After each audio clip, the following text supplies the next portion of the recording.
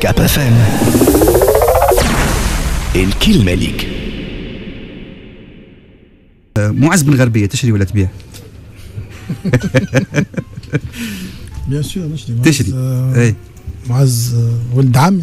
اي فهمتني معناها وصديقي وتربينا مع بعضنا هذايا معناها في الناحية الشخصية والعائلية معناها فهمتني؟ معناها أنا معز ولد عمي وصاحبي معناها إحنا صغار. ولاد جمعية. أيوه لا- وصحاب وصحاب.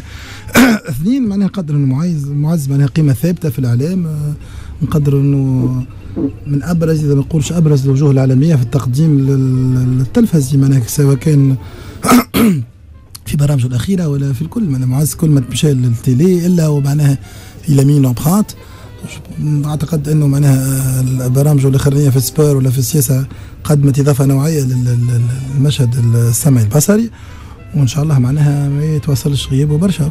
اي كيفاش تتعامل معاه أنت بخلاف علاقة القرابة بيناتكم زوز؟ أنت توا سياسي وتقرب له كيف كيف ولد عمه أنت؟ معناتها كيفاش تتعامل معك في, ال- في البلاتو؟ معناتها تتكلم في التليفون تقول له بربي معز نحب نجيك التاسعه مساء يقول لك ولد عمي يجي بحذايا مرحبا مرحبا- مرحبا بيك معناتها فما محاباه فماش محاباه pas du tout معناها صداقتنا وقرابتنا معناها حاجة والباقي كل داير معناها عمناول معناها سي سور توت اون سيزون مشيت ما مرة بالك معناها التاسعة مساء تقريبا في الآخر بالعكس معناها نقدر إنه معناها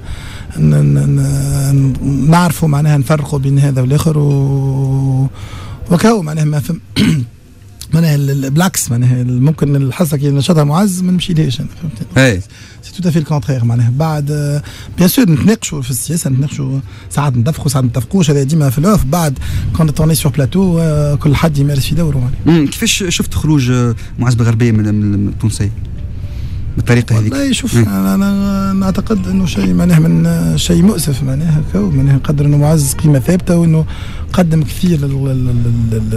للقناة هذيا بعد بالطبع معناها الخلافات وكل شيء مسألة معناها تخص هو وتخص ال- الناس اللي في ال- ال- ال- القناة هذه بقى نقدر إنه على الأقل في الشكل معناها كان كان الأفضل يكون أحسن. من هكا معز عمل برشا للقناه هذه قدم برشا في المشهد هذا ونقدر أن أهم هذايا إنه باش نفتقدوه في المشهد العالمي هذا. نقدر مم. انه معز سيعود برامج آخر ولا في تعرف وين أنت معناتها مهدي بن غربيه لا حتى كان نعرف نقول لك.